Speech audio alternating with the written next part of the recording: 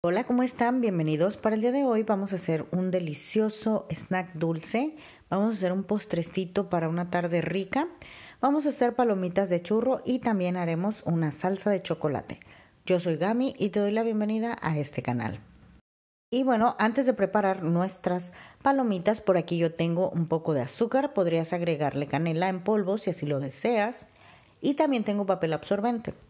Por aquí voy a poner a calentar una taza de agua. Agregaremos dos cucharaditas de azúcar. Vamos a agregar también una pizca de sal. Y bueno, esto lo vamos a poner a hervir. Vamos a agregarle entonces una cucharadita de aceite, cualquier tipo de aceite. Y una vez que ya ha hervido es cuando vamos a agregar una taza de harina. Es la misma cantidad de agua por la de harina. Recuerda que las cantidades exactas de cualquier manera siempre te las dejo en la descripción del video. Si tienes alguna duda, por ahí lo puedes checar. Escribió y agregamos la harina.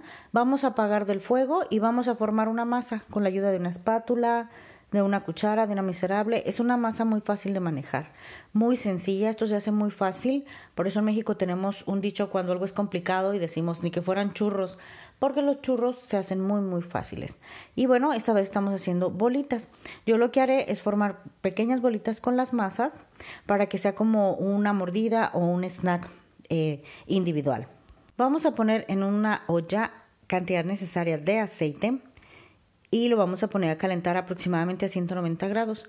Yo utilizo la palita con la que batí para ver si está suficientemente caliente. Tiene que estar muy caliente para que nos queden perfectas. Vamos a agregar aquí nuestras palomitas de churro y las vamos a dejar dorar. Las pasamos por el papel absorbente y después aquí con la ayuda de mi ayudante las voy a pasar por el azúcar. Ahora vamos a preparar una deliciosa salsa de chocolate. Para ello necesitamos 200 gramos de crema para batir y 100 gramos de chocolate negro.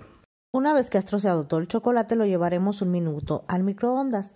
Después, con la ayuda de una cuchara, lo vamos a integrar perfectamente.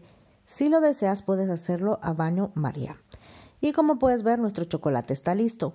Si consideras que te quedó muy espeso, puedes meterlo 10 segundos más al microondas. Solamente hay que vigilarlo para que no se te queme. Y listo, ya tenemos una salsa de chocolate deliciosa y práctica. Y como siempre, yo espero que estas palomitas de churro te gusten. Y si es así, no olvides suscribirte a este canal. Bye bye.